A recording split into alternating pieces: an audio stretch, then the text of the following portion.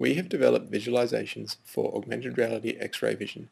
These visualizations improve the user's spatial perception of the environment and of a remote scene.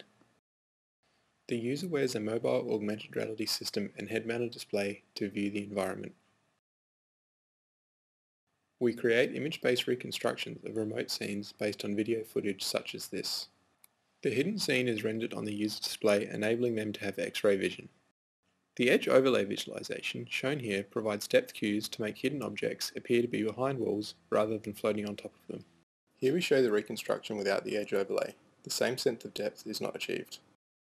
In this video, we will show examples of our edge overlay visualization, tunnel view visualization, and view modes used in our system.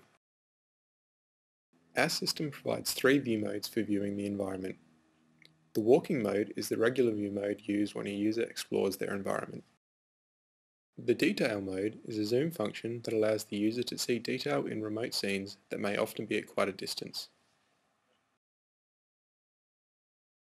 The overview mode is an exocentric view of the environment that provides a broad overview of the user's surroundings. The tunnel cutout visualization is used to show a representation of hidden objects that exist between the user and the remote scene. Here we show the user looking through a brick wall.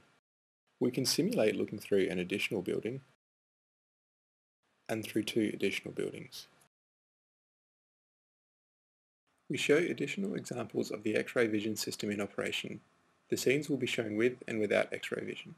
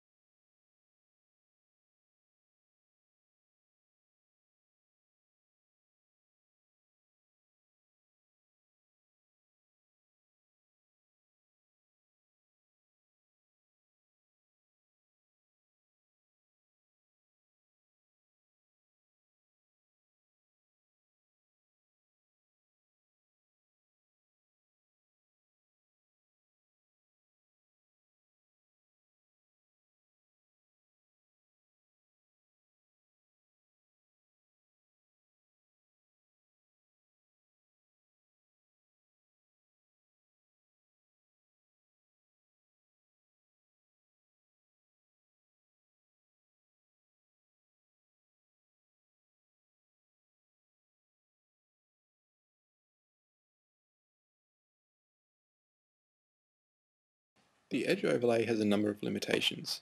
The edge detection operates with a predefined sensitivity. Depending on the environment, there may sometimes be too many edges making the remote scene difficult to see. Or too few edges which reduces the depth effect. This is dependent on complexity of the scenes and on lighting conditions. In future, we will investigate an adaptive thresholding to avoid these problems.